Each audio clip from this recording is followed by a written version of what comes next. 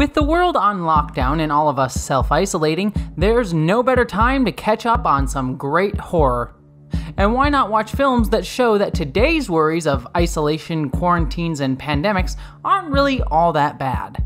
So here are our picks for the absolute best horror films to make you feel better about coronavirus. First up is horror classic 28 Days Later. Opening up on a scene that looks scarily like today's empty streets, 28 Days Later is a visionary zombie film from director Danny Boyle. Taking place in Britain 28 days after a viral epidemic, the film follows a group of survivors trying to survive as society crumbles around them, and is absolutely terrifying as a result. You can stream 28 Days Later for free on Hulu. Next up is the Korean horror action film Train to Busan.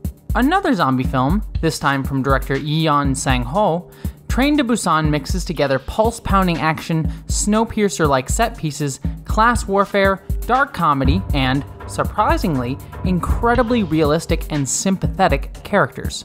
If you want to be filled with adrenaline, take a trip to Busan. Train to Busan is currently streaming on Netflix. But if you're looking to see the vast effects of a global pandemic, the globe-trotting World War Z is the perfect film for you. Breaking out of the often limited scope zombie film, World War Z sees Brad Pitt traveling all over the world to try to find a cure for a growing zombie apocalypse.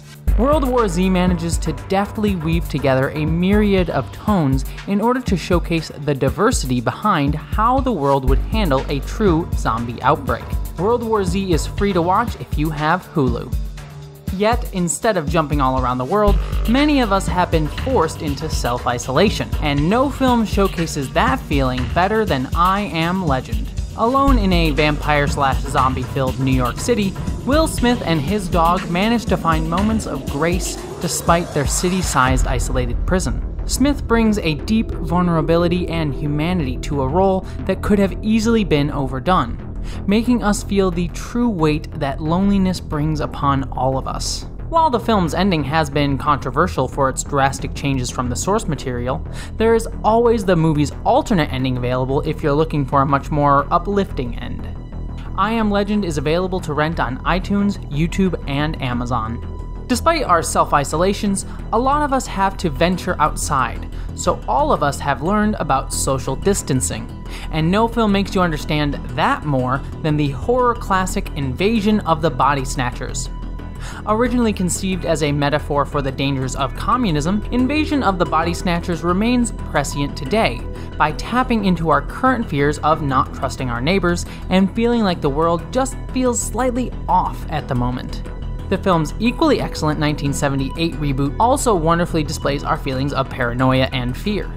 The original film is free on Crackle and available for rent elsewhere, and the 1978 reboot is free on Amazon Prime. Yet, perhaps no film showcases just how quickly a disease can spread than the amazing 2007 Spanish horror film REC. While many may know this film through its English remake, the aptly titled 2008 film Quarantine, the original found footage film shows us a single apartment complex where we slowly learn that a disease is spreading among the neighbors. The film has some surprising twists and turns, but never ever lets you feel safe. REC is available for rent on YouTube and Amazon. But perhaps all the doom and gloom might feel a bit much.